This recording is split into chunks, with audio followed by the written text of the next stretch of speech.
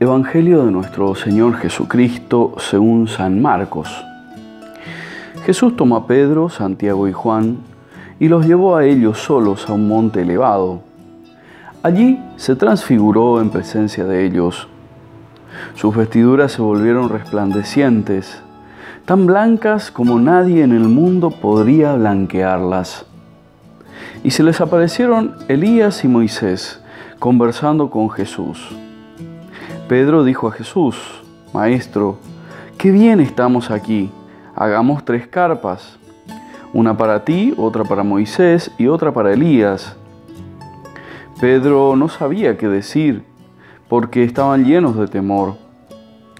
Entonces una nube los cubrió con su sombra, y salió de ella una voz, Este es mi Hijo muy querido, escúchenlo. De pronto miraron a su alrededor y no vieron a nadie, sino a Jesús solo con ellos. Mientras bajaban del monte, Jesús les prohibió contar lo que habían visto, hasta que el Hijo del Hombre resucitara de entre los muertos. Ellos cumplieron esta orden, pero se preguntaban qué significaría resucitar de entre los muertos. Una clave para entender la liturgia de la palabra de este fin de semana la vamos a encontrar en el texto de la segunda lectura, en este texto de San Pablo, que nos recuerda al principio del texto, si Dios está con nosotros, ¿quién estará contra nosotros?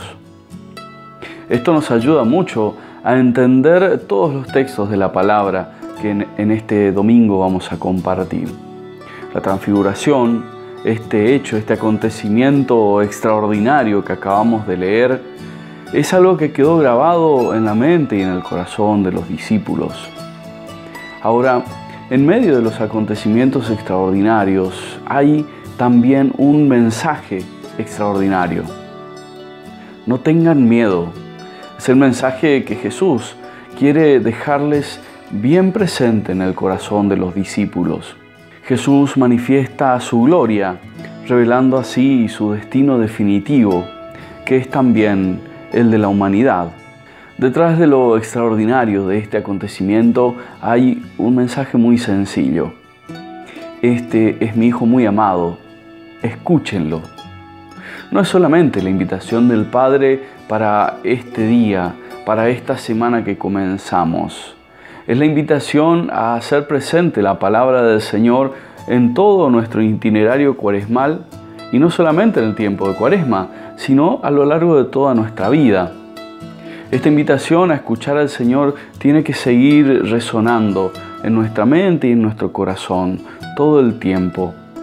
Necesitamos escuchar al Señor, necesitamos conocer su voluntad sobre nosotros y sobre las acciones que realizamos en lo cotidiano de nuestra vida. Necesitamos reconocer la voz del Señor, escucharlo. En esta semana que vamos comenzando será bueno hacer el ejercicio de poder escuchar, atender a la voz de Dios, que se nos manifiesta no solamente en las cosas extraordinarias, sino principalmente en lo cotidiano, en lo ordinario. Pidámosle al Señor esa gracia, la gracia de poder escucharlo diariamente. E invocamos sobre nosotros su bendición. En el nombre del Padre, del Hijo y del Espíritu Santo. Amén.